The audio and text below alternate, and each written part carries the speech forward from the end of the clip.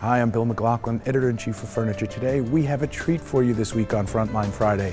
I'm here at the brand new Wanek Sciences Center at High Point University, featuring the Culp Planetarium, and we are going to get an inside tour.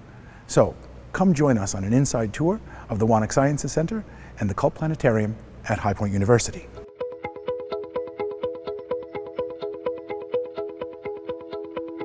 This is the Wanek School of Natural Sciences, and this is the grand entrance to the Wanek School of Natural Sciences.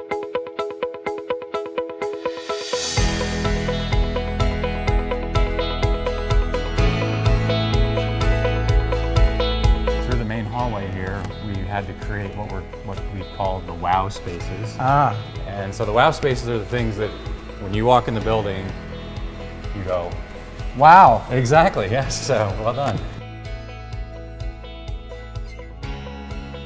If you look in the floor here, this rectangle, this is a force plate that's been integrated into the floor. So you can do things like run up and jump on it and all the forces are getting measured, friction, forward motion and everything. That'll get projected up on the screen and in real time.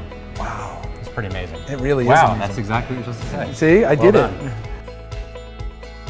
When we designed the building, we tried to have a lot of collaborative, interdisciplinary spaces. As you can see, all the furniture is flexibly designed, so you can move and reconfigure these things. We thought it'd be fun to have a, some really high quality spaces for students to study in, and it's getting a lot of use. So this lab right here, we call the uh, Physics Undergraduate Research Lab. The students call it the Pearl. And what the Pearl is, it's kind of a maker space, hangout place. Most of uh, the physics students mostly hang out in there. Again, if you notice, all the desks are reconfigurable. And you can see once again, we have a bunch of different breakout spaces. I call this the penalty box. so if you want to a really quiet space, you can sit in the penalty box.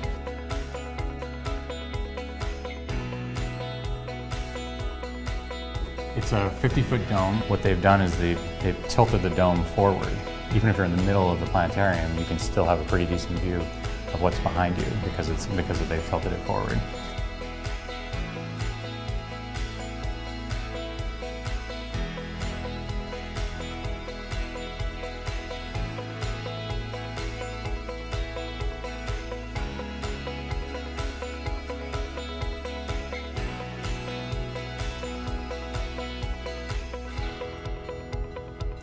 So I hope you enjoyed this tour of the Wanek School of Natural Sciences.